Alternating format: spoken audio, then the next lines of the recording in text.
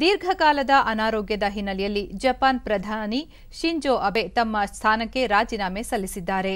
ಆರೋಗ್ಯ ಸಮಸ್ಯೆಗಳಿಂದಾಗಿ ಅಬೆ ಪ್ರಧಾನಿ ಹುದ್ದೆಯಿಂದ ಕೆಳಗಿಳಿಯುತ್ತಿರುವುದಾಗಿ ಜಪಾನ್ ರಾಷ್ಟ್ರೀಯ ಸುದ್ದಿವಾಹಿನಿ ಎನ್ಎಚ್ಕೆ ವರದಿ ಮಾಡಿತ್ತು. ಶಿಂಜೋ ಅಬೆ ಜಪಾನ್ನ ಸುದೀರ್ಘ ಅವಧಿಯ ಪ್ರಧಾನಮಂತ್ರಿ ಎನ್ನುವ ಹೆಗ್ಗಳಿಕೆಗೆ ಪಾತ್ರರಾಗಿದ್ದಾರೆ. ಕಳೆದ ಹತ್ತು ವರ್ಷಗಳಿಂದಲೂ ಅವರು ಕರುಳಿನ ಉರಿಯೂತದ ಸಮಸ್ಯೆಯಿಂದ ಬಳಲುತ್ತಿದ್ದಾರೆ ಎನ್ನಲಾಗಿದೆ. ಅಬೆ ಅವರ ಆಡಳಿತಾವಧಿ ಎರಡು ಸಾವಿರದ ಇಪ್ಪತ್ತೊಂದರ ಸೆಪ್ಟೆಂಬರ್ಗೆ ಕೊನೆಯಾಗಲಿದೆ.